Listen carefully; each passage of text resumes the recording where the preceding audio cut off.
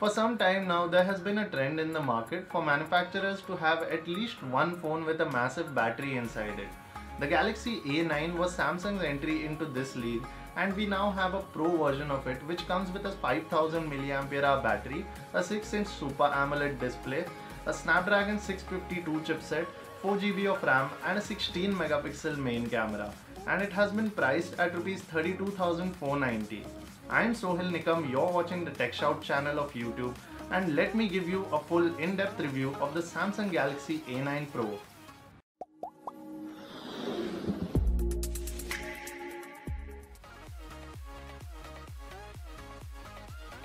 As you know, the A9 Pro holds on to a 6-inch display. Combine that with a 5000 mAh battery and the phone becomes a large and heavy slab that will feel comfortable only to those with big hands. It borrows the metal and glass design from Samsung's flagship line and this again adds to the weight taking it to a whopping 210 grams. Now I'm not saying that the largeness and heaviness is something bad, that is a very subjective thing, but I'm just saying it so you know. The feel of the device is very exquisite and there's fine finishing all around. A good grip is provided by the metal frame moreover. One of the things we loved about the A9 Pro was that the slots for the SIM cards and the micro SD card slot are different, saving you from the inconvenience that is the hybrid SIM slot. The front end is highlighted by the display and the fingerprint scanner, while the rear end is pretty clean with the Samsung logo and the camera module being its only occupants. So the key highlights of the design of the A9 Pro are its largeness and its heaviness. If you're okay with both of them, the other design elements will only end up pleasing you.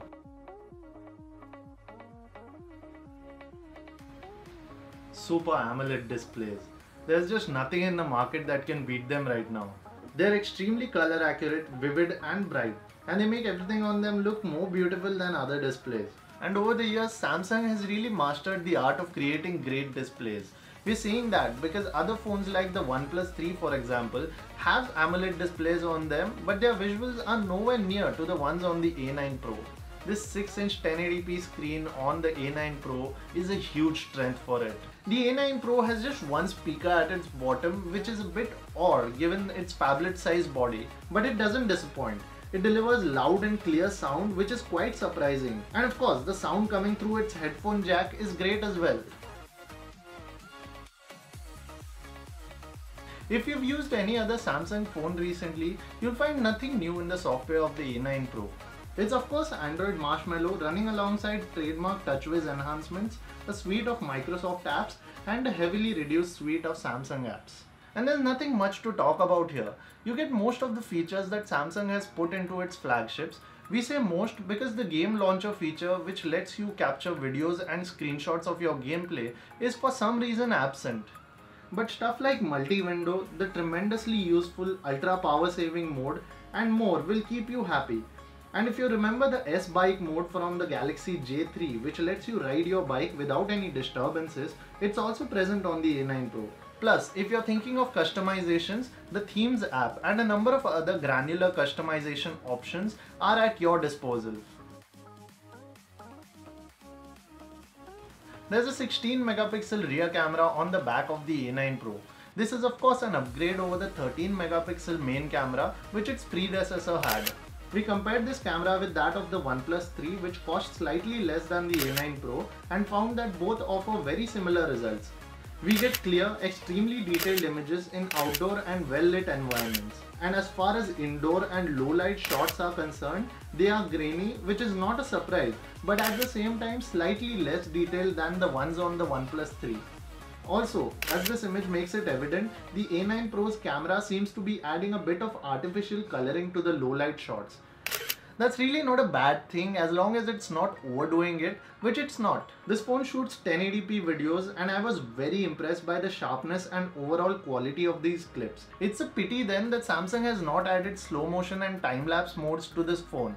Really, who does that in 2016? That brings us to the camera app. It's quick to launch, quick to focus and is very intuitive overall. I do want to mention that its manual mode which is called Pro mode is very half baked as it doesn't offer you many controls. The 8 megapixel camera on the front of the Galaxy A9 Pro clicks decent selfies in good light, but there's expectedly a lot of grain in low light selfies. Overall, I liked both the cameras on the Galaxy A9 Pro, but similar camera experiences are also offered by phones that are cheaper than this one. Take for instance the OnePlus 3 and the Xiaomi Mi 5.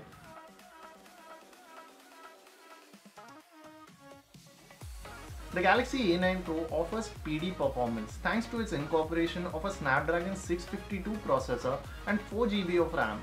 The only app that lagged for us was Flipboard, but this has been a problem even in high-end Samsung phones. It works in a very funny way wherein it has to load each time you open it.